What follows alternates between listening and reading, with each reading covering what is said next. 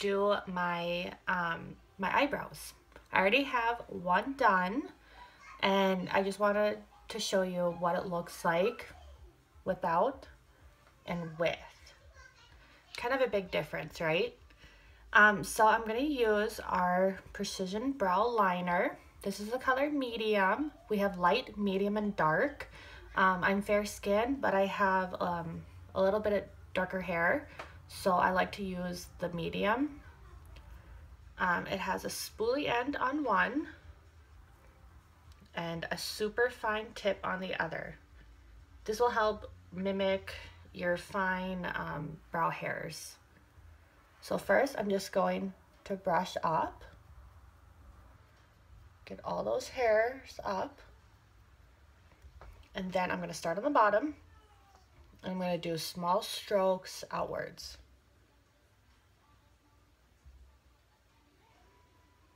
I like to stay pretty close to my where my hairs are just to give it more of natural. And then I'll just start filling in.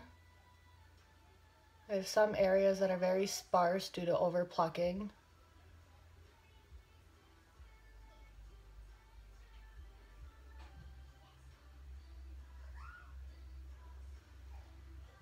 Okay, and then I'm, I'll brush down and do the top.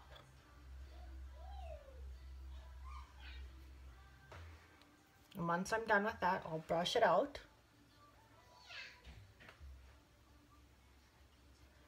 And one good tip about if you're not sure where your brow should be at, um, just take your brow liner, line it up with the edge of your nose, and go up. That's where your brow should start.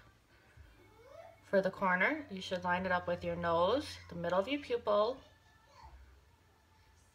and then for the end, side of the nose, side of your eye, that's where it should end.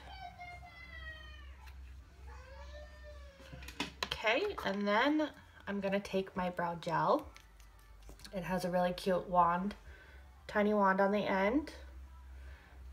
This is also the color medium. I'm gonna start at the bottom. Go against the hairs.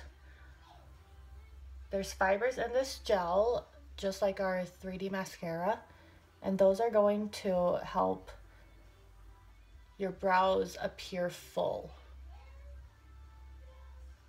And I'll just brush it back. This gel also helps keep those brows in place all day. It's also waterproof.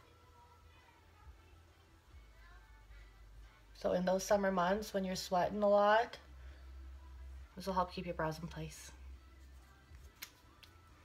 And that's it. Just these two products.